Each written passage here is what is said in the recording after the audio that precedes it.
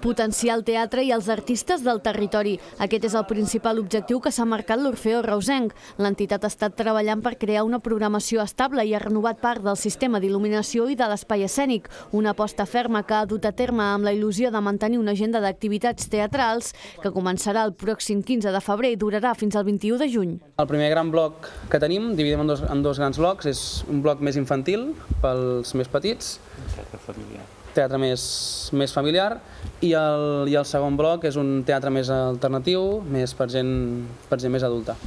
L'objectiu principal és que l'Orfeo pugui fer un pas endavant a nivell teatral i que es posi dins el circuit professional de, de teatre, salvant les distàncies amb els grans teatres de, de Reus, però que es posi dintre una mica el, el cercle de, de teatres de, de la ciutat.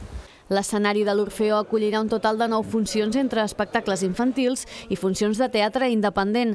Pel que fa a les obres pels més petits, destaquen dues propostes de l'artista reusenc Jordi Carrer per apropar la música a la canalla o la funció Fenya Rai de la companyia Teca Teatre.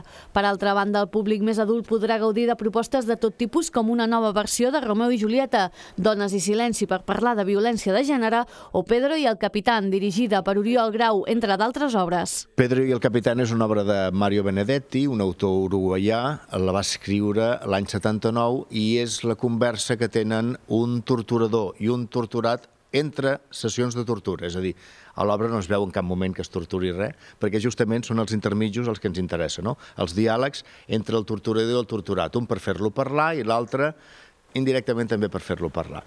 Les entrades es podran comprar anticipadament a la taquilla el dijous anterior de cada funció o a través d'internet, sense cost de gestió.